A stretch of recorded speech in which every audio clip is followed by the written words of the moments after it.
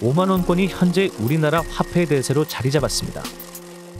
한국은행이 시중에 공급한 화폐에서 환수한 돈을 제외하고 시중에 남은 금액인 화폐 발행잔액에서 5만 원권이 차지하는 비중은 무려 90%에 육박합니다. 한국은행에 따르면 지난 8월 말 전체 화폐 발행 잔액 176조 8천억 원 가운데 5만 원권 지폐는 155조 7천억 원, 88.1% 수준으로 나타났습니다. 축의금, 조의금, 명절 용돈은 물론이고 일상생활의 지급 결제에서까지 5만 원권이 흔히 쓰이면서 사실상 대표 화폐가 된 것입니다. 이에 비해 1만 원권의 비중은 10% 미만이고 5천 원권과 1천 원권은 1%에도 못 미치는 수준. 2009년 6월 처음 발행된 5만원권의 비중은 그 달 7.7%로 출발했습니다. 바로 다음 달인 7월 13%를 기록했고 9월엔 20%를 돌파하면서 가파른 성장을 시작했습니다.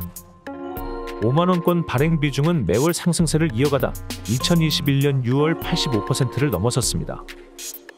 5만원권 발행 직전인 2009년 5월 1만원권 비중은 86.6%로 현재의 5만원권 지위를 보였지만 이후 계속 밀리면서 1만원권 비중은 지난 8월 기준 8.8%로 역대 최저를 기록했습니다. 한편 5천원권과 1천원권은 사실상 존재감이 사라진 상태.